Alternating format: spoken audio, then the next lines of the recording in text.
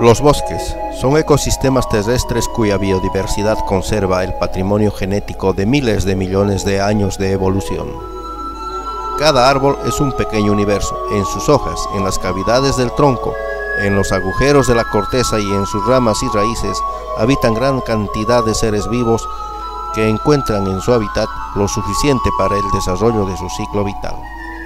Por todo ello, un bosque es mucho más que madera es un conjunto de plantas, de animales, de hongos y microorganismos que se interrelacionan en ese medio de vida.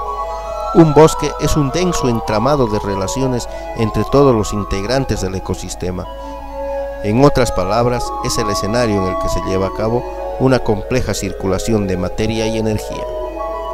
Del bosque aprendemos el significado de la complementariedad, pues la vida armónica de la naturaleza nos brinda un escenario en el que se respira paz y libertad. Sin embargo, esa armonía, esa paz y esa libertad se ven amenazadas por la mano del hombre, quien en su afán de alcanzar un mayor poder económico deforesta, incinera y contamina los pulmones del mundo, sin ponerse a meditar que el atentado contra los bosques significa quebrantar las posibilidades de existencia de toda forma de vida en el planeta.